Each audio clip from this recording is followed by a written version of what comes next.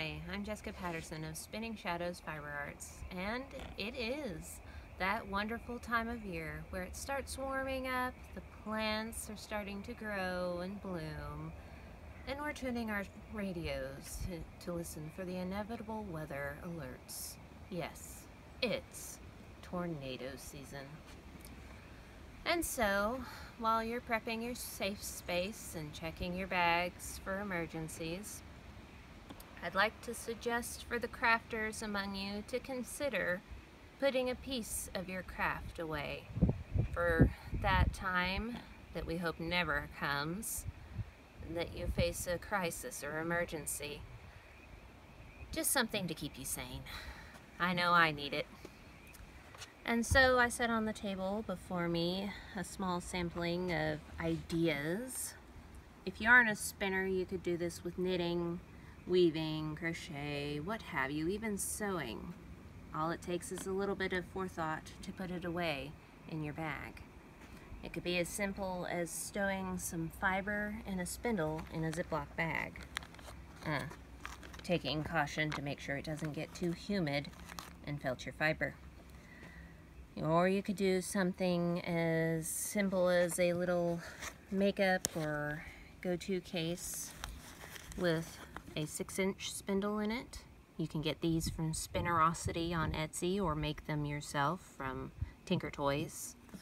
Put a little fiber in there and you're ready to go.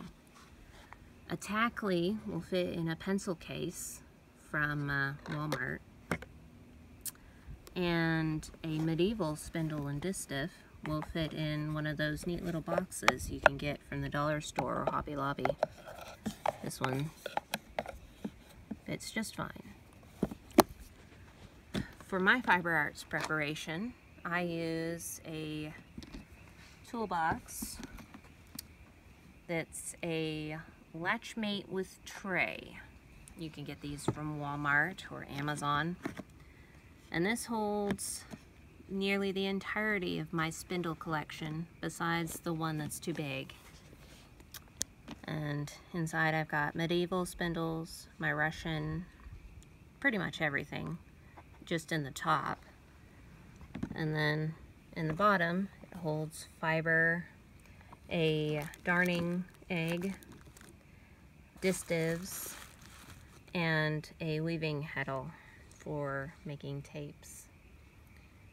And that is what I have prepared. For the weavers among you, we all know that the looms are a little bit too large to fit into safe, into safe spaces, usually, unless you have a huge basement. And so for the weavers among you, I might suggest a small rigid heddle, this is called a backstrap loom, with a uh, shuttle and some fiber. Thank you for watching. Have a nice day.